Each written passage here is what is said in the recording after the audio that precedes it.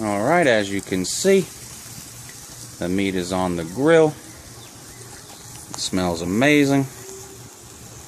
Like I said, there's nothing I can't cook. There's nothing I can't do. Uncle Lou is here for you.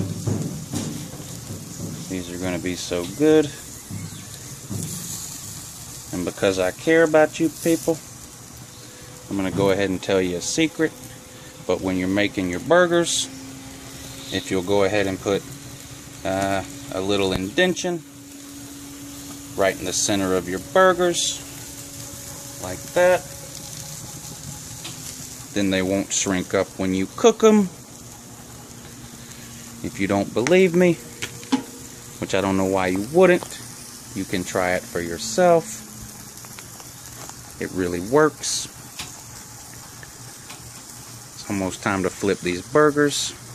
I'm going to go ahead and show you people something else. My new shoes.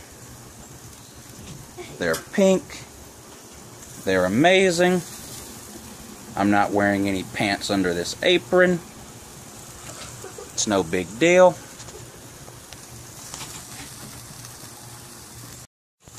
Alright, well the hot dogs are done. I'm going to go ahead and show you guys now those are the hot dogs. They're perfect. To anyone that says they're burnt, you're wrong. They're done. The french fries are cooking. I flipped the burgers, added a few more. It's no big deal.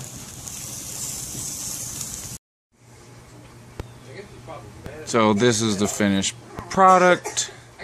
Uh, this is how you're supposed to uh, make it. Bun, burger, lettuce, tomato, pickle, onion, ketchup and mustard. Keep in mind, there's more than one way to make a hamburger. Uh, there's many a slip, twixt a cup and a lip. Uh, but this is the right way.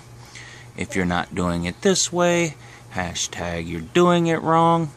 So, there you go.